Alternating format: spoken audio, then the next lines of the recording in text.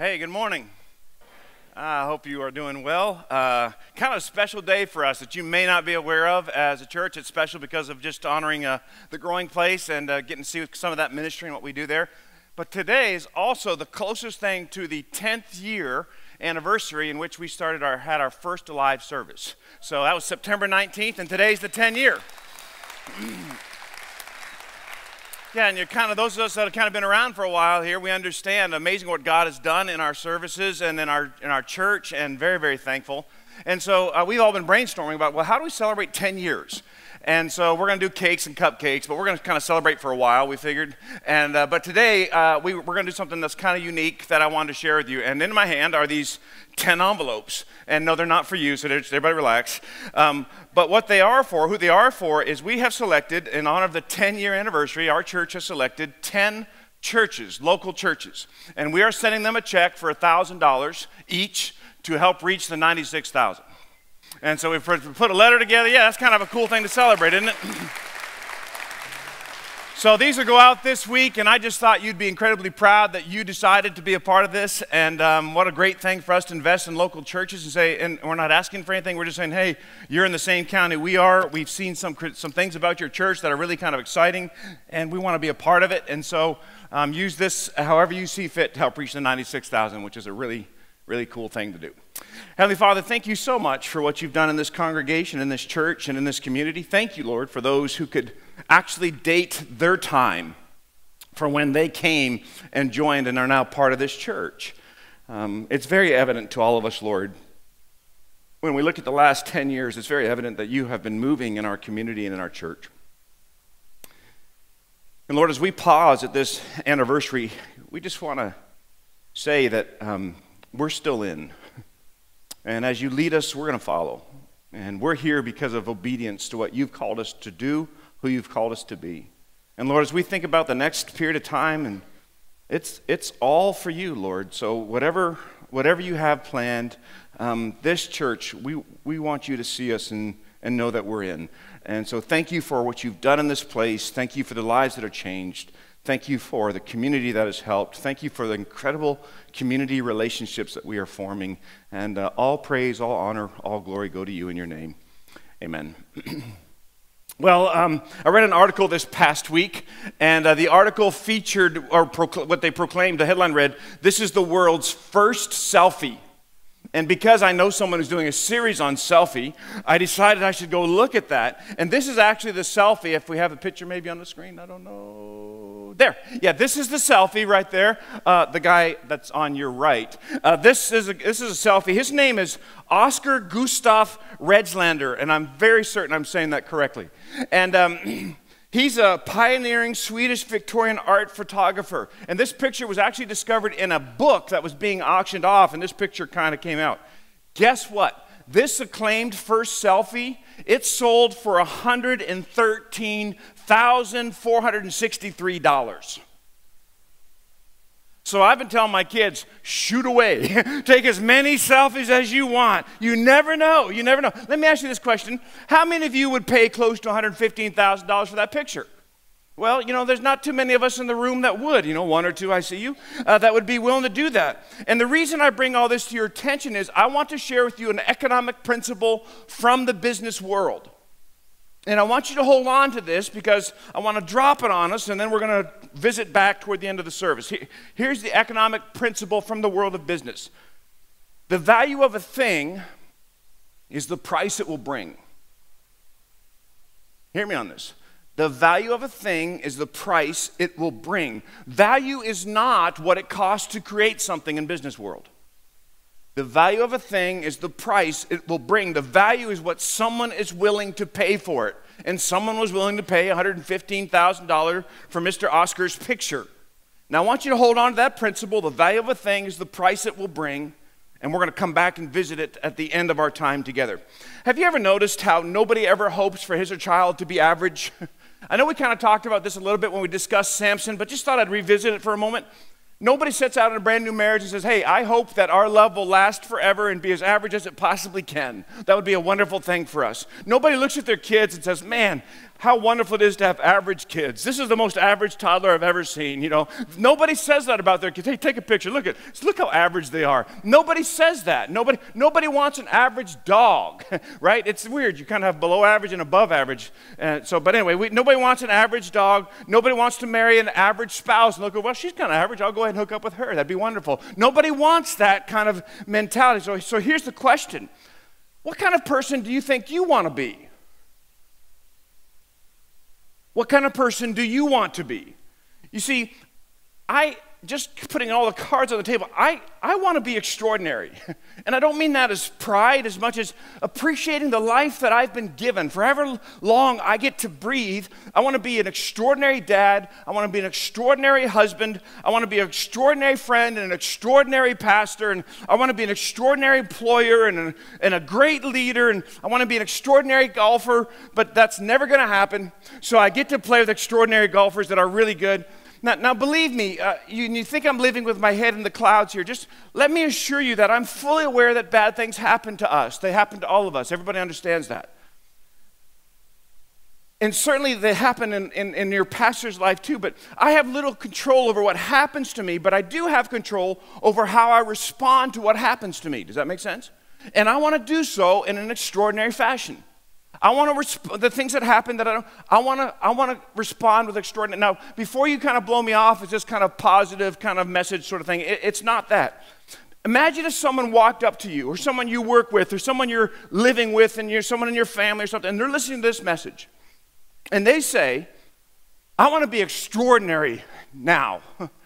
I want to be extraordinary at work. I want to be extraordinary at home. I want to be extraordinary wherever, at school. I want to be extraordinary daughter. I want to be an extraordinary spouse, extraordinary son. I'm going to be an extraordinary grandparent. Imagine that. How are you going to respond to their desire to be extraordinary? Are you going to say, well, don't be getting all extraordinary on me? Let's try to shoot for average. You just try to be average, okay, spouse? You just try to be average, okay, kids? Don't try to be extraordinary. That'd be stupid. Nobody's going to say that, correct? We're all thinking that, you know, this would look so good. So, what if we decided as a, as a group to be extraordinary people? What if we decided not, not settling for average, not nominal, but I'm talking about extraordinary? And I'm not talking about being extraordinary at something. I'm not saying that. I'm, I'm speaking of being extraordinary, an extraordinary person. Because I believe that not only can we do that, but I believe this is what God is calling people to. I would suggest that if you claim to be a Christian, if you claim to be a follower of Jesus Christ, and I'm not sure how many of you claim to do that, but if, if that's your, your claim, then you have to live an extraordinary life. You don't have options. In fact, if you're living an average, you're kind of slacking. And you say, why do you say that? Well, a couple things. One, you believe in a personal God who's intimately involved in your life. How can you offer that average? You believe that God sent his son to pay for your sins, which was a personal gift. So you've received an extraordinary gift. How can we be average?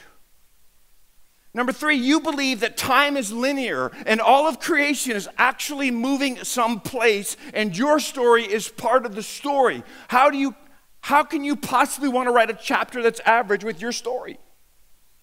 And lastly, you believe you are made in the image of God, and every single day matters. And so, if you're made in the image of God, how can we say it's so great to be average? Unless your God is average. But you don't believe that.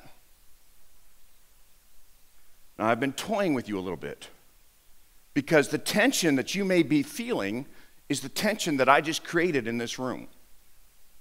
You agree that we're to live extraordinary lives. But the reality is, most of us don't feel too extraordinary. Guess what? That tension between the desire to live extraordinary and having very real kids who are sick the desire to live extraordinary and having a marriage that is struggling, the desire to live extraordinary and have finances that aren't really extraordinary, that tension is exactly what you have in common with the last judge we're going to talk about in this series.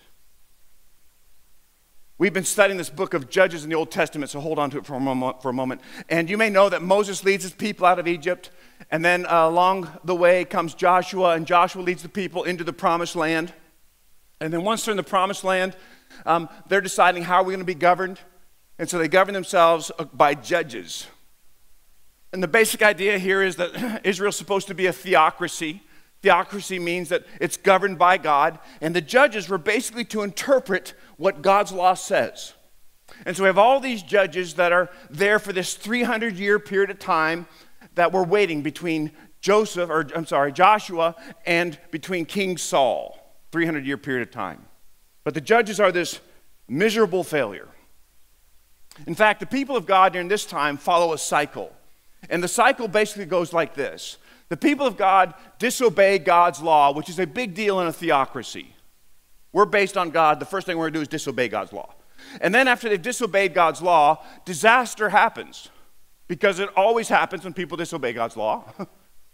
and then this disaster gets so bad, the people of God are sorry for disobeying God's law, and they ask God to deliver, and God delivers. Well, then they start the cycle over and over again. That's the whole cycle in the book of Judges. And there's this verse we've been using in throughout this series from Judges chapter 21. It's actually repeated throughout the last half of the book, and this is what it said. In those days, Israel had no king. Everyone did as he saw fit.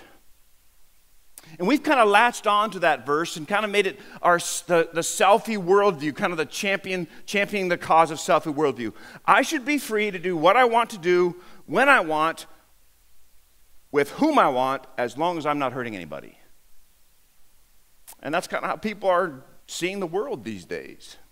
It's how people are interpreting things. In fact, throughout this series, I know many of you have started interpreting news stories. Well, that's the selfie worldview. You've seen it. And this selfie worldview resulted in that crazy cycle this disobedience and disaster, and then praying for deliverance. And I have one more judge to talk with you about this whole thing. And this is one of my favorite judges. And what I'm going to do is I'm just going to introduce you to the judge. You need to go home and read these stories for yourself because they are one of some, kind of a bright spot in the whole judge discussion. The judge I want to talk to you about today is a guy named Gideon.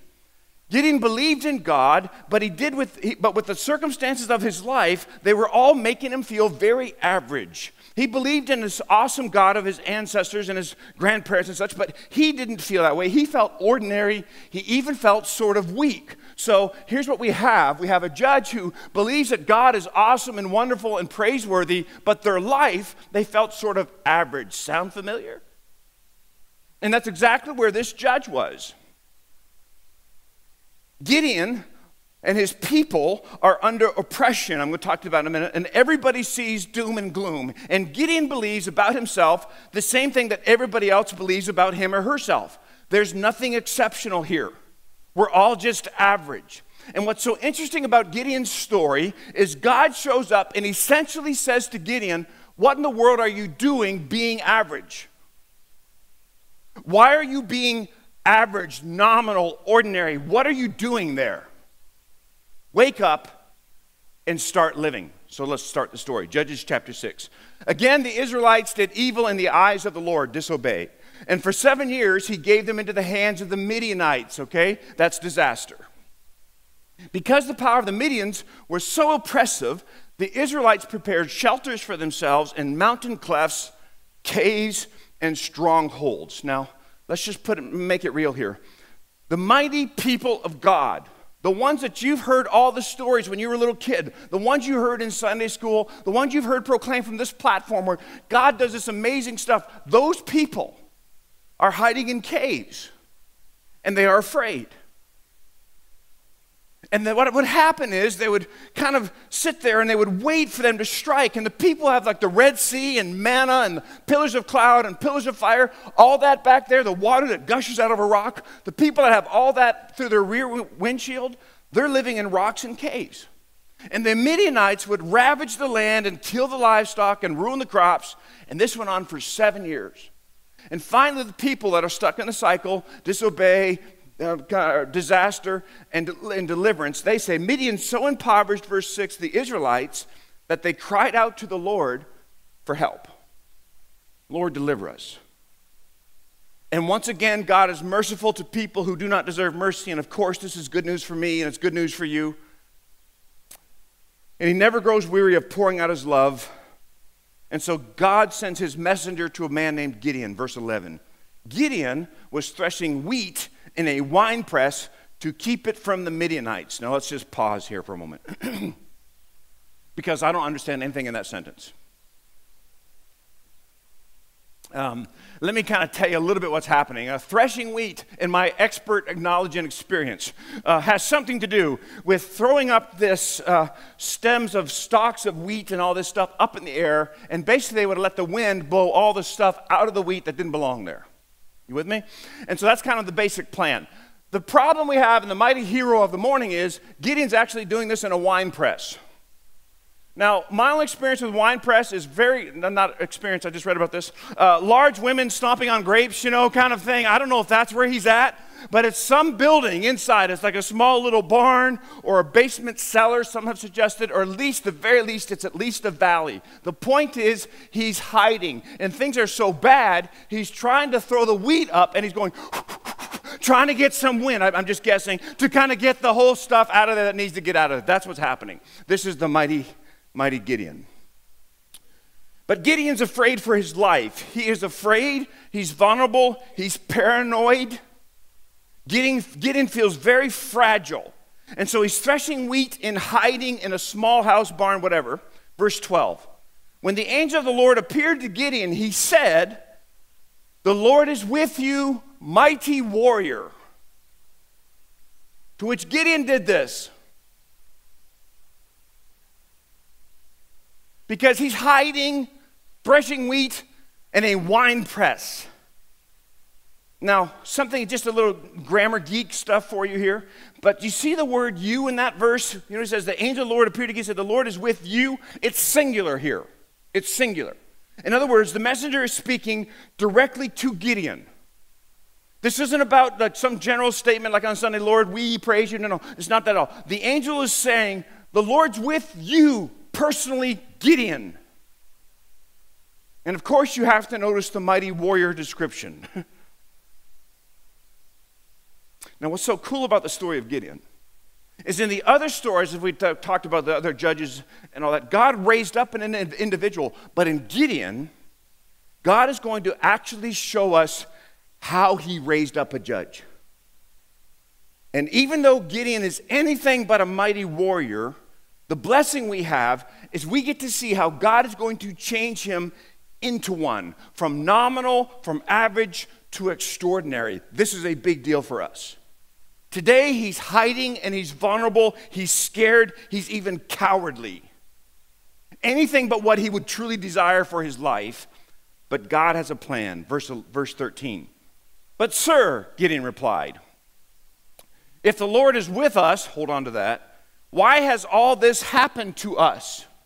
Where are all his wonders that our fathers told us about when they said, Did not God bring us up out of Egypt? But now the Lord's actually abandoned us and put us into the hand of Midian. And this is an exceptional verse. And it is so telling for those of us that have been involved in this selfie series, so relevant to our lives. Because when God spoke to Gideon, watch this, he used the singular pronoun you. but when Gideon responds to the message of the Lord, he uses the plural pronoun. Now, watch this because this is so me and it is so you. If the Lord is with us, Gideon says, in other words, Gideon sees himself just like everybody else. And he forgets all those things that I mentioned to you about why we should have extraordinary lives. Gideon sees himself just like everybody else. There are no extraordinary people in a wine press, just us cowards that are hiding in a wine press in caves and rocks. We're not extraordinary. We're actually forgotten by God. I am just like everybody else. And you know what? I think that's where some of us are today. We're sort of hiding. We're, we're surviving. We feel weak and we feel afraid, and we've forgotten the faith of our childhood because we've become so wise and world smart now. And we've pushed to the back of our minds the last night of youth camp we had growing up, or the time when we gave it all to Jesus, or a time when we surrendered and God met us. And we've conveniently forgotten that answered prayers over the years because we haven't had our prayers answered lately. And so we find ourselves living in a cowardly kind of way, as if God has lost track of us on the great planet. And Gideon asks a fair question, one I think everybody in the room has to ask, and that's this If you are for us, God, then why in the world are people suffering? And I hope you'll find some comfort in knowing, at least I've asked the question and I continue to ask the question, but I wasn't the first. It was asked at least 3,000 years ago. And you know what's really cool? God wasn't offended by the question. God knows the human condition. He knows the world we're in better than we do. God knows disease and disappointment, and He knows sin, and He knows fear, and He knows evil and suffering. And He knows your condition better than you do because He made you. Verse 14 The Lord turned to him and said, Go in the strength you have and save Israel out of Midian's hand. Am I not sending you? He's in a wine press, threshing wheat because he's afraid. And the Lord's like doesn't even address it. Just just get on out there and put your head on the chopping block. It's going to be fine. Just go ahead. And that's essentially what Gideon says. But Lord, how can I save Israel? My clan's the weakest. weakest in Manasseh, and I am the least in my family. I'm not even ordinary. I'm like below nominal. I'm, I'm way down on the pole. Lord, I am just like everybody else. My whole clan's weak. Our whole city's weak. Our whole population's weak. I'm nobody. I'm not perfect, and I'm certainly not heroic. I'm just me, just ordinary, trying to pay the bills and surviving the day. I don't have any gifts. I'm not wealthy. I'm not in a position of influence. I'm not even sure I have my health. I'm not strong. I'm not emotionally whole. I'm the least, and I come from the least people. I'm in nowhere, USA. Verse 16, God says, Oh, my mistake. I must be at the wrong place. Google Maps has messed me up once again.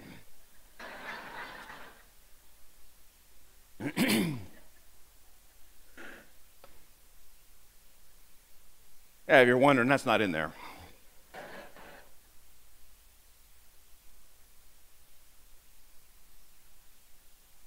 but I thought it before. Lord, do you know who you're asking to do this? Come on, haven't you? Lord, are you fully aware of my history? Lord, are you fully aware of my lack of ability? Lord, are you fully aware of my emotional dysfunctions? I do think you might be at the wrong house. You probably meant to get my brother, or you probably meant to get that person over there. Look at them, they're doing really well. You probably meant those people over there. You're in the wrong place today. This is Tom's house. You need to be at someone else's house.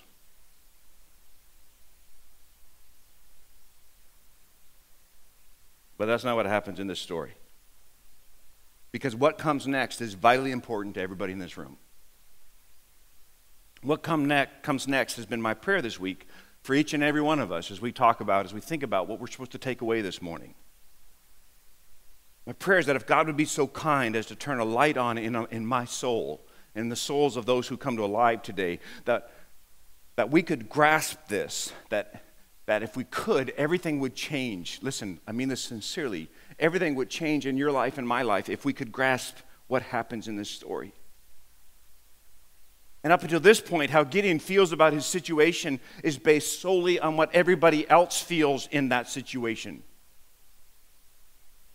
And we do this I do this. We, we view our circumstances by how everybody else views their circumstances. Oh, we don't have enough money to pay the bills. We don't either. Let's get another job. Oh, we don't have enough situation to my health. I know we got bad health too. But God views Gideon differently, and God views Gideon as a mighty warrior. What if God views you and your circumstances differently? What if God views you, dare I say it, as a mighty warrior? What if that's how God views you? And instead of how God may be viewing you, you are spending your entire life with how you view you or how everybody else views you. And all the while, God's saying, hey, dude, you might be a mighty warrior if you stopped acting like a pansy. I don't know if God speaks to you like that. He does to me, okay? I'm just saying.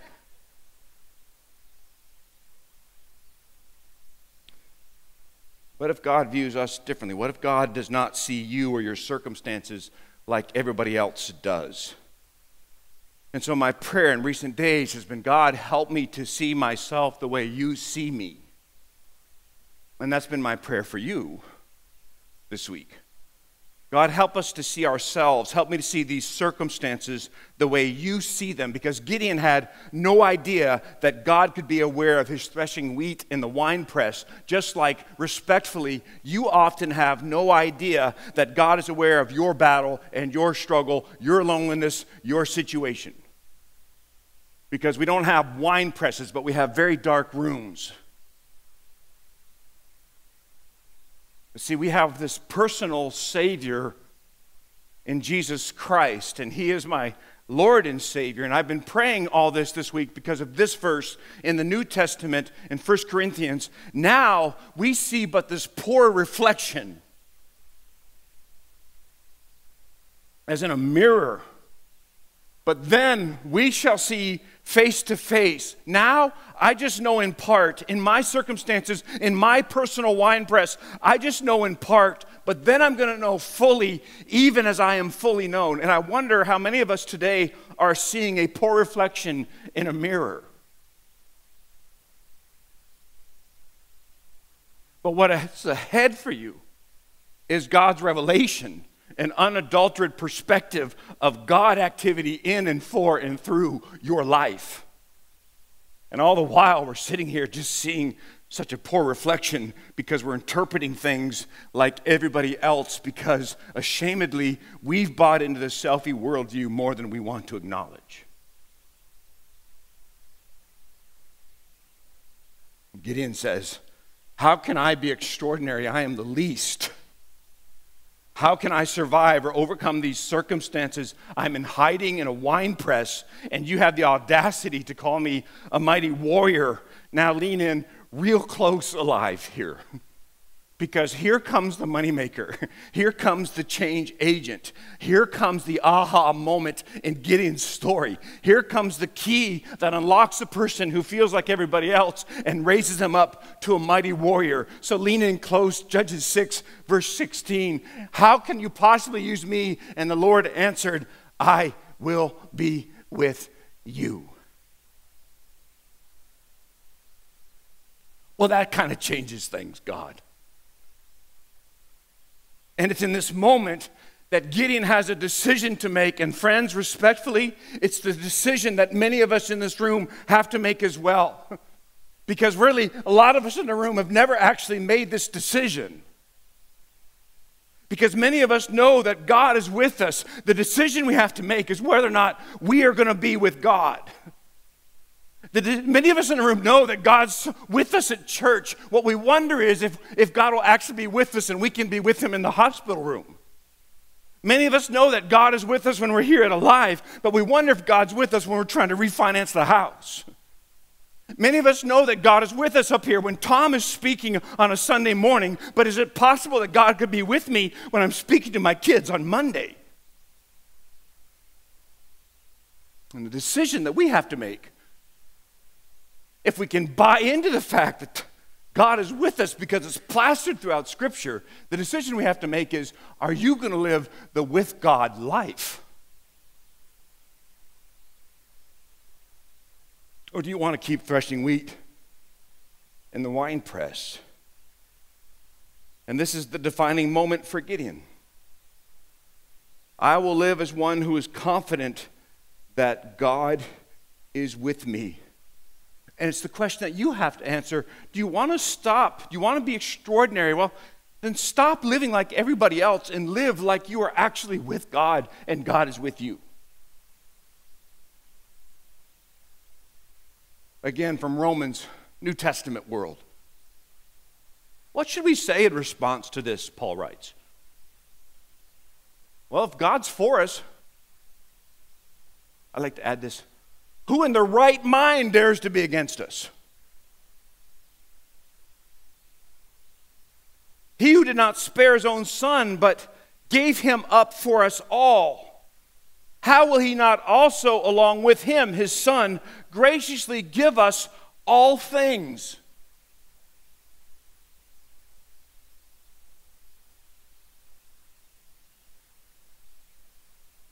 I wonder what you think about all that.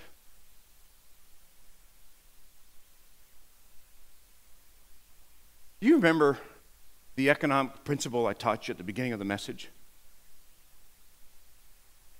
The value of a thing is the price it will bring.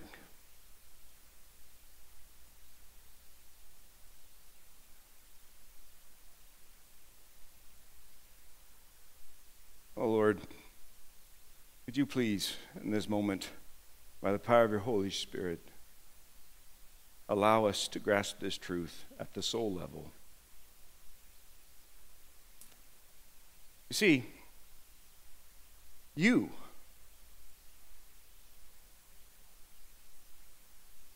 are so valuable to God that He equated you with the price of His Son. And the value of a thing is the price it will bring. So apparently, you, and not just you, but apparently all the people you drove by on your way here today, apparently there's enough value in you in your own little wine press, in your own physical condition, in your own sickness, your own successes, your own stresses, your own failures, your own weaknesses, the things you're good at, the things you're not good at, your own embarrassing moments, your own regrets, your own shame. Apparently, you, singular, you, equated in God's mind to the price of his own son. So here's my question what if we lived to that value? You may think you're hiding in a wine press these days, or suffering in a sick bed, or fighting the aloneness of emotional wounding, or feeling the rejection of a loved one or a group of friends. You may think you are the only one, or you may think you are just like everybody else. But please allow me to boldly share with you the reality of your particular situation.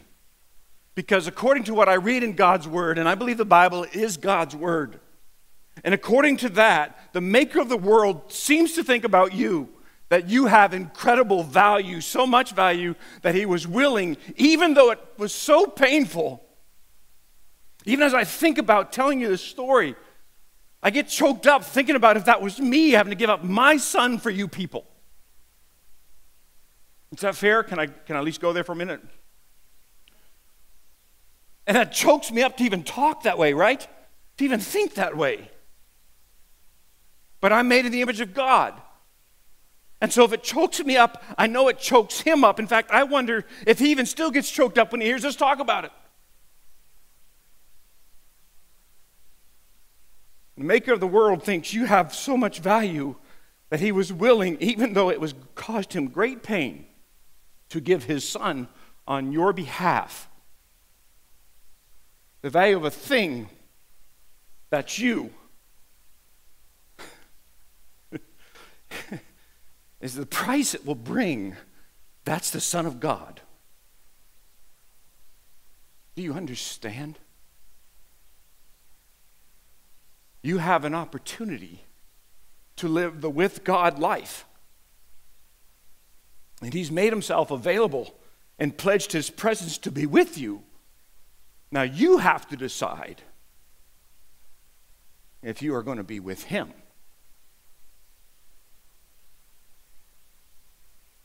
And this was so important that you and I understood this and that you and I remembered this. It's one of the few things that God actually asked us to continue to do after Jesus left.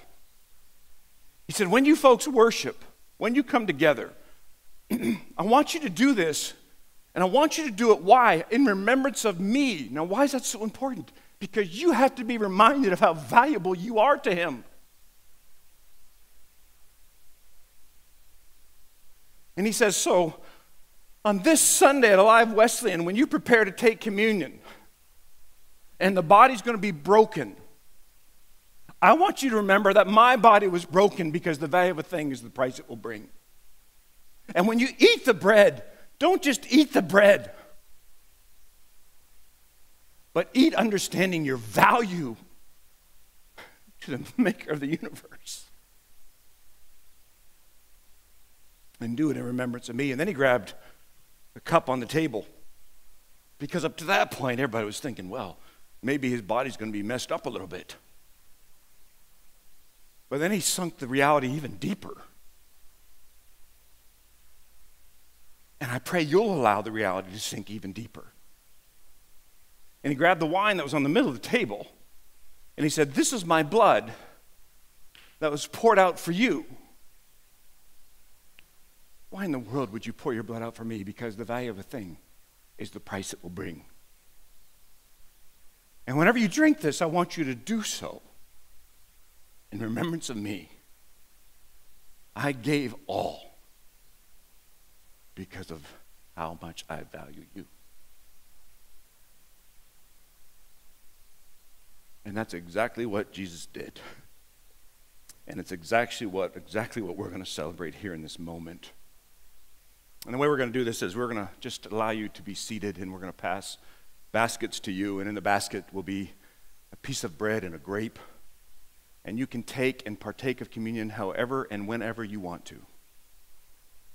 Heavenly Father, I pray now that your Spirit would affirm this truth in the hearts of these folks. How blessed I feel, how honored I feel, how humbled I feel to stand before this group of people with the very symbols of my value here at my feet. And I have to tell you, Lord, I wrestle with that. It's, it's a love I can't even comprehend. I feel like things are going to blow up inside of me because I don't know that I've ever, I don't know how to interpret someone giving life for me. So, Holy Spirit, I need you to guide me through this. We need you to guide us through this today. And as we partake the bread and the grape today, Oh Lord, sting into our minds and our soul. Oh, Tom, the value of a thing is the price it will bring. Do you see your value? Live with me. Live the with me life. And I pray you would whisper that message across this whole auditorium today, across this whole hill and campus this morning, so that we will live the with God extraordinary life. Bless these elements, allow them to be a means of grace for us, I pray, in this moment. In your name, amen.